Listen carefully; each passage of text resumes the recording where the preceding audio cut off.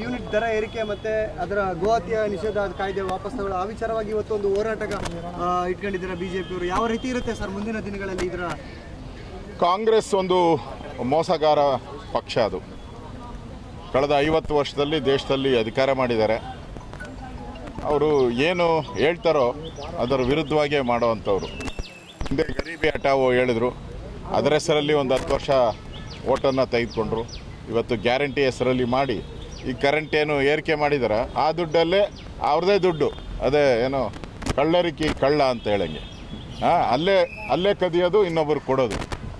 ಈ ಥರ ಒಂದು ಕೆಲಸ ಮಾಡ್ತಾರೆ ಅಂತ ಜನ ಇನ್ನಾದರೂ ಅರ್ಥ ಮಾಡ್ತಾರೆ ಬೆಲೆ ಏರಿಕೆ ಮಾಡಿ, ಮಾಡಿದ್ದಾರೆ. ಮುಂದಿನ ದಿನದಲ್ಲಿ ಪೆಟ್ರೋಲು ಏರಿಕೆ ಆಗ್ಬೋದು. ಏನೇನಿದೆಯೋ ಎಲ್ಲೆಲ್ಲ, ಎಲ್ಲೆಲ್ಲಿ ಏರಿಕೆ ಮಾಡ್ಬೋದು ಅಲ್ಲೆಲ್ಲೇ ಏರಿಕೆ ಮಾಡ್ತಾರೆ. ಮತ್ತು ರಾಜ್ಯದ ಜನತೆ ಮೇಲೆ ಈಗಾಗಲೇ ತಲಾ, ಆದಾಯದ ಮೇಲೆ ಸಾಲ ಇದೆ. ಇನ್ನೊಂದಷ್ಟು ಸಾಲ ಮಾಡ್ತಾರೆ. ಅದೇನೋ ಸಾಲ ಮಾಡಾದರೂ ತುಪ್ಪ ತಿನ್ನು ಅಂತ ಏನೋ ಗ ಆಡೈತಲ್ಲ, ಹಂಗೆ. ಈ ಒಟ್ಟಲ್ಲಿ ರಾಜ್ಯವನ್ನು ನಮ್ಮ ದೇಶದ ಒಂದು ಮಟ್ಟದಲ್ಲಿ ನಾವಿವಾಗ ನಂಬರ್ ಒನ್ ನಂಬರ್ ಟೂನಲ್ಲಿದ್ದೀರಿ ನಾವು. ನೋಡ್ತಾ ಇರಿ, ಇನ್ನೊಂದು ಆರು ತಿಂಗಳಲ್ಲಿ ನಾವು ಯಾವ ಸ್ಟೇಜ್ಗೆ ಹೋಗ್ತೀರಿ ಅಂತ, ಯಾವ ಸ್ಥಾನಕ್ಕೆ ಕರ್ನಾಟಕ ಹೋಗ್ತೈತೆ ಅನ್ನೋದನ್ನು ನೋಡಿ. ಇವತ್ತೇನು ಕರೆಂಟ್ ಬಿಲ್ ಏರಿಕೆ ಮಾಡಿದಾರೋ ಇದನ್ನು ಖಂಡಿಸ್ತೀನಿ.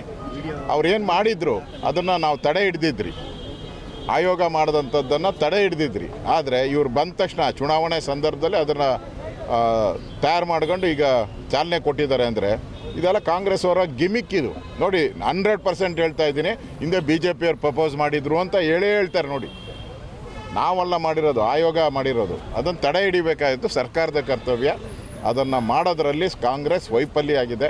ಈ ಬೆಲೆ ಏರಿಕೆ ಇನ್ಮೇಲೆ ಎಂದಿದ್ರು, ಇನ್ಮೇಲೆ ಇಡೀ ವರ್ಷ ಏರಿಕೆ ಏರಿಕೆ, ಏರಿಕೆನೆ. ಒಟ್ಟಲ್ಲಿ ಅಲ್ಲೇ ದುಡ್ಡು ತಗೊಂಡು ಜನರು ಇವಾಗ ಯಾರ್ಯಾರಿಗೆ ಫ್ರೀ ಸಿಗ್ತಾ ಇದೆಯೋ ಆ ಫ್ರೀನ ಅವರಿಂದನೇ ಕಿತ್ಕೊಂಡು ಅವ್ರಿಗೆ ಕೊಡ್ತಾರೆ. ಒಳ್ಳೆ ಸ್ಟೈಲ್ ಇದು. ಕಾಂಗ್ರೆಸ್ಗೆ ಮೆಚ್ಚಬೇಕು ನಾವು.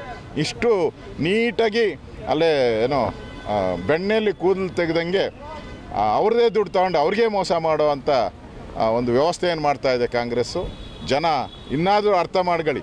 ಗ್ಯಾರಂಟಿಗೋಸ್ಕರ ಓಟ್ ಮಾಡಿದ್ರಲ್ಲ ದಯವಿಟ್ಟು ಅರ್ಥ ಮಾಡ್ಕೊಳ್ಳಿ. ಅಂಬರೀಷ್ ಅವರು ಭಾಳ ವರ್ಷಗಳಿಂದ ನನಗೆ ಪರಿಚಯ. ಅದಕ್ಕಿಂತ ಹೆಚ್ಚಾಗಿ ಅಂಬರೀಷ್ ಅವರು ಕೂಡ ಭಾಳ ಒಡನಾಟ ನಮ್ಮ ಜೊತೆ.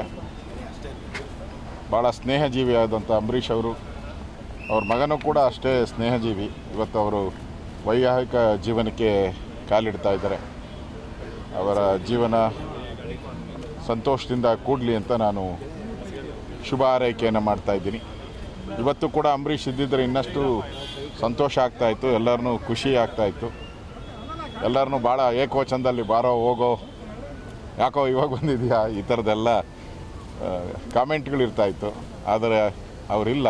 ಆದರೂ ಕೂಡ ಇವತ್ತು ಸುಮಲತಾ, ಅಂಬರೀಷ್ ಅವರು ಕೂಡ ಜವಾಬ್ದಾರಿಯನ್ನು ತೆಗೆದುಕೊಂಡು ಮದುವೆಯನ್ನು ನೆರವೇರಿಸ್ತಾ ಇದ್ದಾರೆ. ನಮ್ಮ ಮನೆಗೆ ಬಂದು ಇನ್ವಿಟೇಷನ್ ಕೊಟ್ಟಿದ್ದರು ಒಳ್ಳೆಯದಾಗಲಿ ಶುಭ ಆಗಲಿ. ಮತ್ತೊಬ್ಬ ಅಂಬರೀಷ್ ಆಗಿ ಚಲನಚಿತ್ರರಂಗದಲ್ಲಿ ರಾಜಕೀಯ ರಂಗದಲ್ಲಿ ಮಿಂಚಲಿ ಅಂತ ಶುಭ ಆರೈಕೆಯನ್ನು ಮಾಡ್ತೀವಿ